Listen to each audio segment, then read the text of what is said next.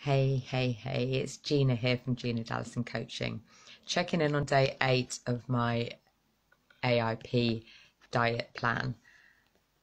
Didn't check in yesterday, so that's not to say I went off my diet, by the way. It was just, I find if I don't do these things early doors, then the day disappears quickly. And it's a little bit later today, but I thought I can't miss two days without just checking in and uh, saying hi.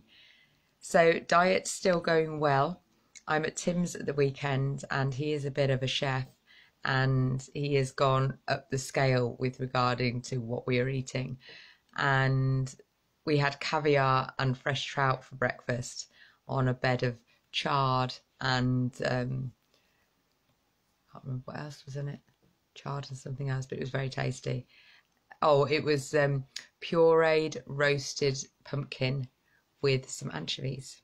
Hark at us with our posh breakfasts. So that was very cool. And tonight I am going to be having my first meat for a long while. So the AIP diet really, for those of you that don't know, cuts out most of what I was eating as a vegetarian, or not most, but a good chunk of it. So all of the legumes, which are lentils, pulses, beans, things that as a vegetarian I ate a lot of and enjoyed